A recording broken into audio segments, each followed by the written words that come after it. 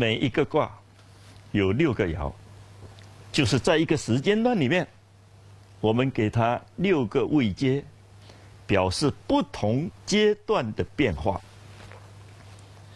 我们先说通例，因为这个是对每个卦都通用的。初爻跟上爻对起来，叫做有始有终。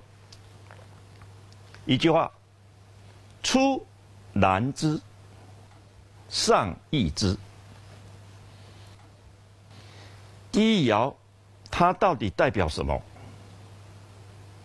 很难清楚，因为事情刚刚开始，谁看得清楚将来会怎么变化？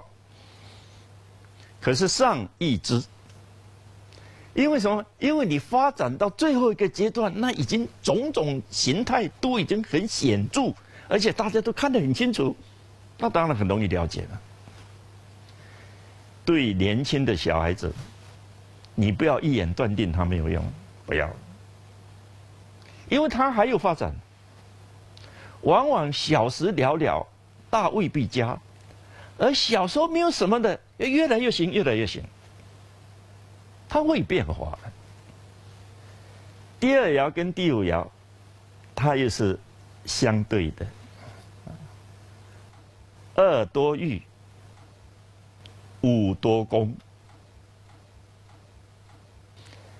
大家有没有发现呢？我们中国一开会。就想这件事情是上级领导他的指示很明确，他领导有方，我们才能够做得这么好。就是我们很习惯你把所有的功劳都归于上级的领导。我们中国人不会去跟上级领导抢功劳的，不会，因为你抢不过他。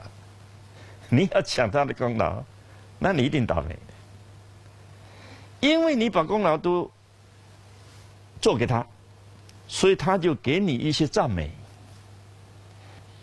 一个老板会很放心的去赞美工地主任，或者是生产线的一些老领班。他大概不会轻易去赞美一个经理、赞美一个科长，他不会。但是我们在这里是要提醒各位，你应该看出来，我们现在最大的问题，就是我们那个是非标准呢已经错乱掉了。我们把对的看成错的，一直骂，一直笑他；我们卡错的反而看成是对的。你看，糟糕不，糟糕！你看，今天只要有一个人站起来说这件事情承蒙上级领导的。指示，大家就笑他拍马屁。那有什么拍马屁？没有上级领导，你你有天大的本领，你来试试看。因为你把功劳给他，他就知道你心中有我。根本的原因就是你心中有我嘛。那我就放心的赞美你。如果你认为这件事情是你自己的能力、你自己的本事、你所花的事情所做的成果，那你试试看好了。我下次不给你做，我这次也不会赞美你，也不会表扬你。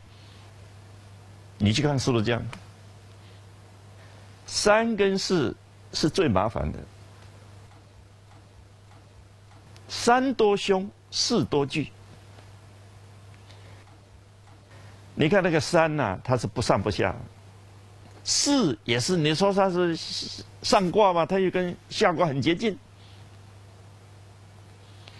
三，你要小心，因为你从下卦来讲，它已经发展掉一个卦的最顶端，物极必反，很快会产生很大的变化。而四呢，又是上卦的刚开始。你不知道这个变能不能变得很顺利，不知道。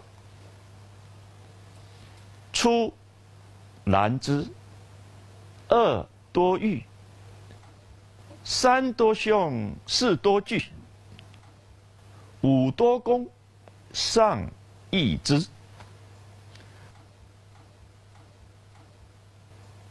我们把这个去对照乾卦、坤卦或者其他的六十二卦，八九不离十。